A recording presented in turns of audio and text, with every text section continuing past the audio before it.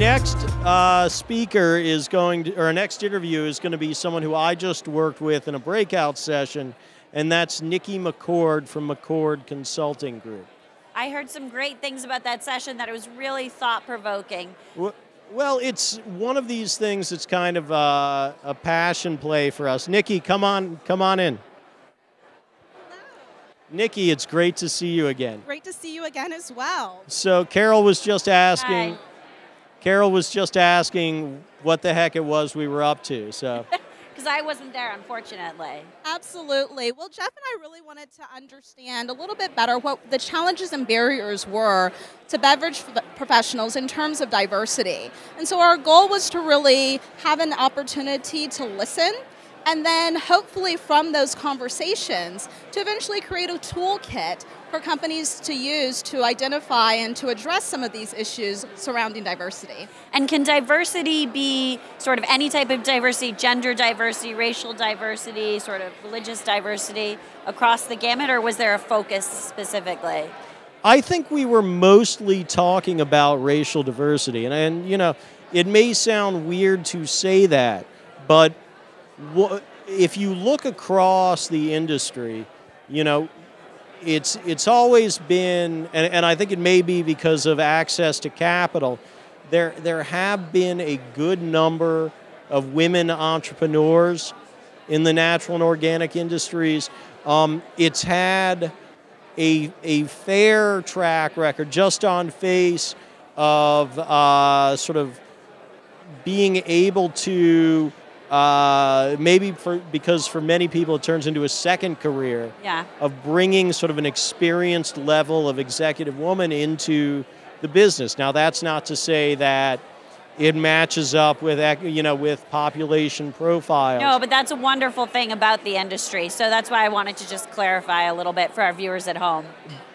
But what we've been talking about is how do we make uh, people who've been working in natural and organic and traditional uh, food sources for decades, how do we get them invited to this party that is the growing financing of incursive brands? Absolutely. So, what were some of the key takeaways from the session on how to sort of achieve those goals? So I think we talked about four different areas that really came out of the room that attendees said these are some of the things that we feel are barriers and we can now look to find out how we can create tools to address these barriers.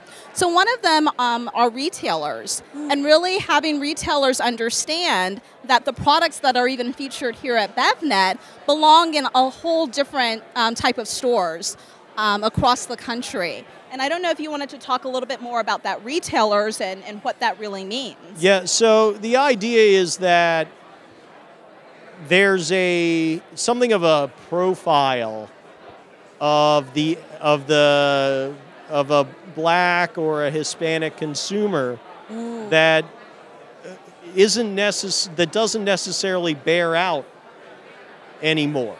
Yeah. And while there's been a good change in mindset from retailers toward health and wellness, it hasn't yet filtered into uh, retailers who are in who are traditionally in communities of color, even if those retailers are even there.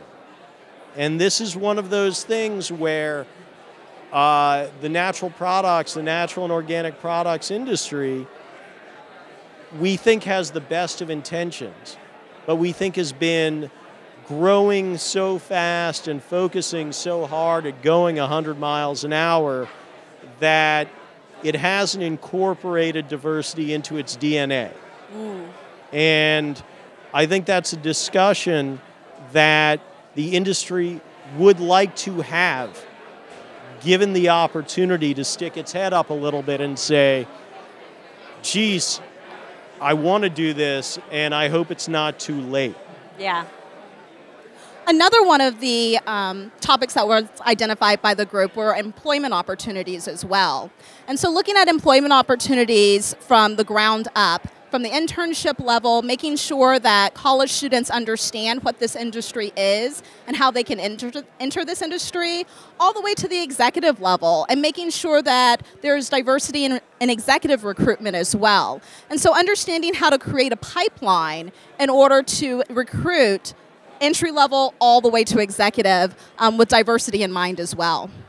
If we move the needle, it creates a ripple effect and we hope that we increase a pipeline, we increase opportunity, we increase willingness to take economic risk, both within minority communities and externally, so that people will look to those communities as places where they want to leverage their risk capabilities. In other words, to invest in a diversity of entrepreneurs. Absolutely.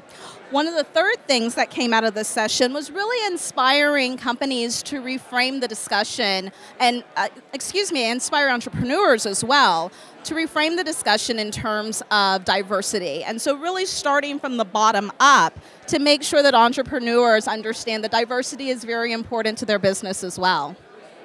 So, the other thing that I want to I want to make clear is that this isn't the only discussion we want to have, not just a breakout session at a BevNet Live. But we want to take this discussion across the natural products industry. We think that there are a lot more to be had. We think that there are a lot of objectives to be identified and to be worked towards, and that it needs to be a two way street, that we need to recognize that this is or would like to be a culturally moral industry and we want to uh, support that. You know, uh, absolutely. It's not just about identifying problems; it's how are we going to fix them as well. And I think that we're very committed to that. Yeah. Yeah. So I do know that we're going to turn it over to Ray Latif in just a minute. So I want to make sure that he is floating around here, and I don't see him. He's he's right there in the wings. Okay but he's waiting in the wings. So I'm afraid that Carol and I are taking off, and you'll be joining us on our way out. But Nikki, I just want to say thank you for coming out and uh, helping me through that discussion. It was a lot of fun. Thank you for having me. This has been an excellent opportunity, and I look forward to working together in the future. That's great. Great.